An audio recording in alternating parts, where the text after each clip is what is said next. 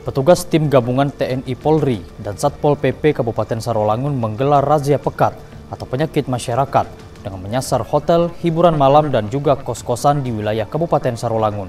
Petugas berhasil menjaring sepasang kekasih yang diduga berbuat mesum dan tanpa identitas sebagai pasangan suami istri. Pasangan kekasih ini hanya pasrah saat kedapatan kencan di kamar kos-kosannya oleh petugas gabungan razia pekat yang terletak di Kelurahan Sukasari, Kabupaten Sarolangun, Jambi. Kedua pasangan kekasih ini saat diperiksa tidak dapat menunjukkan identitas sebagai pasangan suami istri dan langsung diangkut oleh petugas gabungan.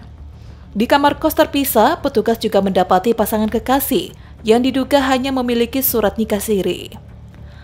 Kepala Satpol PP Muhammad Idrus mengatakan, dalam razia pekat ini terdapat beberapa pasangan kekasih dan belasan pemandu karaoke atau LC. Sementara untuk pasangan kekasih tanpa identitas jelas akan dilakukan tindak lanjut agar pemilik kos tersebut lebih selektif dan tidak sembarangan memasukkan orang.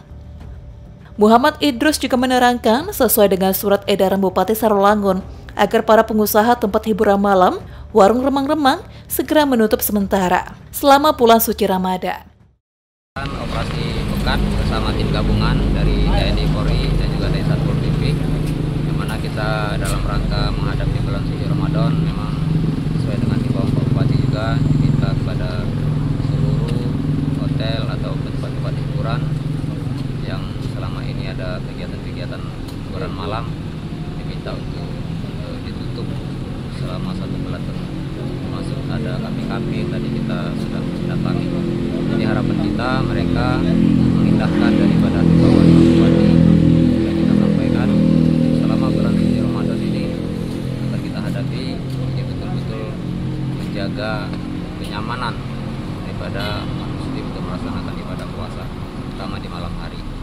Kita malam ini kita tadi sudah mendatangi beberapa hotel kemudian kos-kosan dan juga tempat-tempat hiburan kafe-kafe ya.